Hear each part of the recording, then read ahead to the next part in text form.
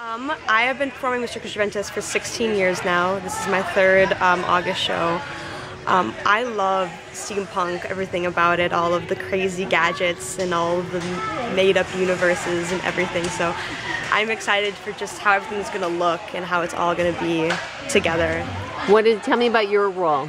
So my character is one of the Eloi. We are basically, we're lizards. We're not very smart. Um, we kind of get by and scavenge and do what we can.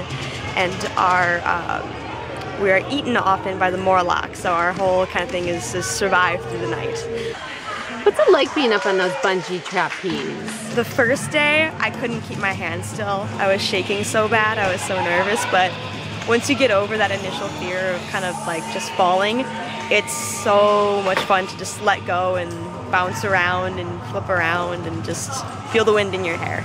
Leah, what are the differences when you're designing a circus costume?